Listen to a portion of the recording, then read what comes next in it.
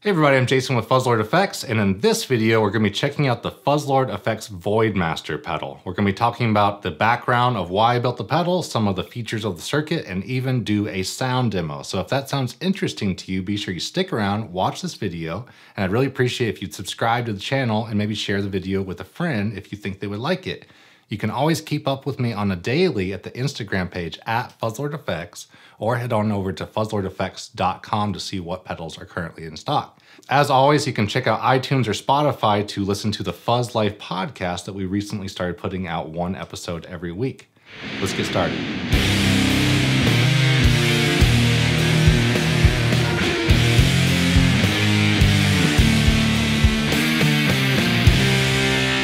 So the Voidmaster is a 70s style silicon fuzz that's based heavily on the old school fuzz face or like DAM Meathead style pedals.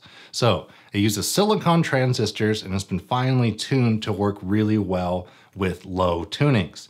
A lot of times with these old classic 70s fuzz pedals, they are very heavy on the low end and kind of muddy sounding.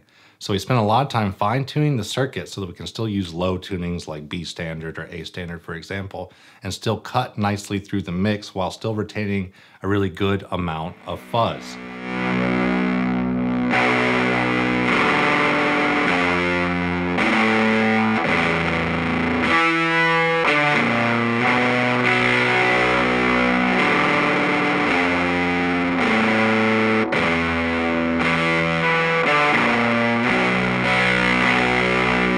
Something I really wanted to point out about the Voidmaster is because it's heavily fuzz face based, it is very reactive to your guitar's volume control. So even though it only has one control for the output level, you can use your guitar's volume control to really control the amount of fuzz that is present. If you roll your volume back to like five or six, you can go from a fuzz to like a really nice kind of overdrive tone.